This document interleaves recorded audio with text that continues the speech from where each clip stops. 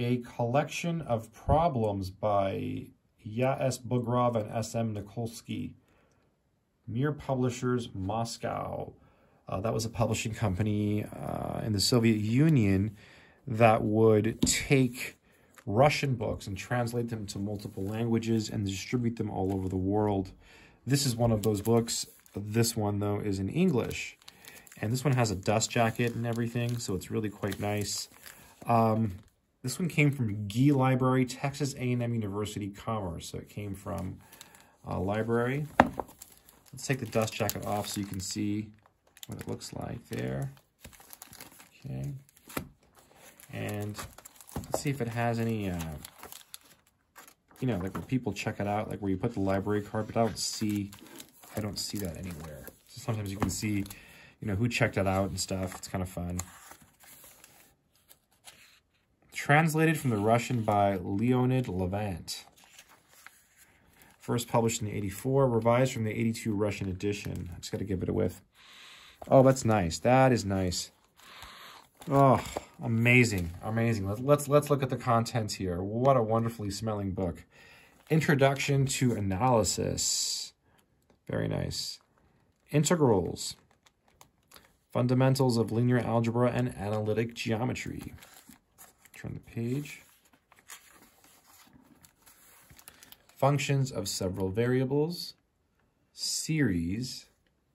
Differential equations. Multiple integrals. Vector analysis. Fourier series and Fourier integral. And then we have functions of a complex variable. And then here we have operational calculus. And you have answers. Let's go to the answers, page 126.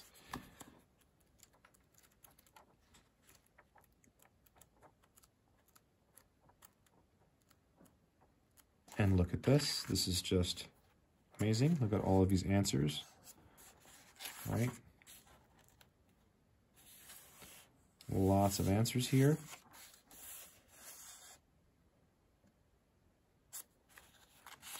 So you do get quite a bit here. It's pretty amazing. Wow, I just gotta I just gotta smell it again. Ah, amazing. Let's let's go to the beginning of the book so we can see how it starts. Real numbers and sets. Using the method of mathematical induction, prove the following. So let's you start off with some uh, induction proofs. That says here, let uh, the set A consist of the youths of a given group and the set B of the girls of the same group. Find A union B, A intersect B, etc. Interesting. Huh. Some cool problems here. and here, these are pretty easy. Solve the inequalities. I mean, there, there's some easy stuff, too. It's not insane.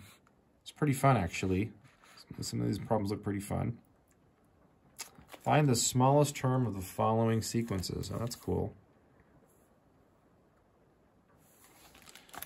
So this is kind of a really a really cool book if you can get your hands on it. Um, I will look for it if I can find any copies. I'll leave a link in the description, but uh, I don't think I'll. Uh, I don't know if I'll be able to find any copies of this book. Um, these books are really hard to get, but yeah, this is this is really cool systems of differential equations, Euler's equation, the plane. Oh, these are fun. So you do these in, um, you take Calculus 3, you'll see some of this stuff. Write the equation of the plane passing through the point, uh, 1, 2, negative 3, perpendicular to the vector. Oh, that's really simple. Yeah. Write the equation of the plane passing through three points. Also pretty easy. Um, you just find uh, two vectors and you take the uh, you take the cross product and that gives you your normal vector, and then you have your uh, your point and your vector, so you have your plane. Um, yeah, these are a little bit harder, but still pretty easy. Uh, and then it goes on to uh, something else. Yeah, a little bit harder here. 253. So, yeah, it's pretty cool. Pretty cool. Pretty cool problems, right? Um, you can have a lot of fun with this stuff. Linear subspaces. Is the following set of vectors a linear subspace? Having odd integral coordinates, having even integral coordinates. Interesting. Lying on the x or y axis. Functions of several variables find and represent the domains of existence of the following functions. Oh, that's fun. That's pretty cool. You get some fun answers here, and you can think about what that domain is geometrically. Like, for example, here, um, you know, whatever, you know, you, you basically got to take this and set it greater than or equal to zero, what's inside the radical here, right? Because um, you don't want to take the square root of anything negative. That has to be non-negative because you don't want imaginary numbers. And then you just solve, um, and you get uh, you get something there pretty cool. And same thing here, right? Mm-hmm. Really cool. Those are fun. Fun problems. Fun problems. Extrema, implicit functions, conditional extremum.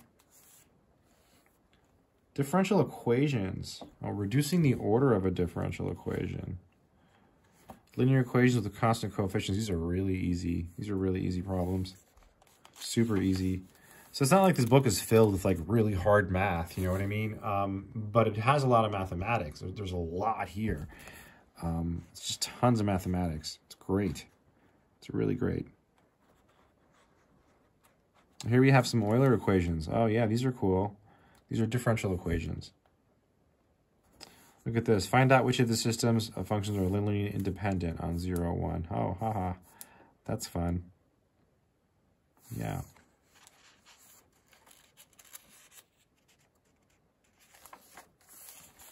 multiple integrals, change of variables in a multiple integral, vector analysis, line integrals of the first kind. Cool. Huh. Cauchy-Riemann conditions, harmonic functions. Yeah, you see this in um, like a complex variables course. That's where you see uh, stuff like this. Yep. Yeah. Well, I think it's awesome because it has all those answers. And um, yeah, I definitely recommend this book. If you can find a copy, uh, get it, right? i will I'll see if I can find any. I don't know if I'll be able to. Uh, if you want to learn math, by the way, check out my courses. Uh, they're on Udemy, but if you get them, please use the links uh, from my website or uh, the description of any, of my videos. Uh, otherwise, Udemy takes a huge cut, but it helps me and I lowered the prices, so when you use my links, you should get a really low price. So yeah. Anyways, this is an interesting book. Um, I just wanted to show it to you. Take care.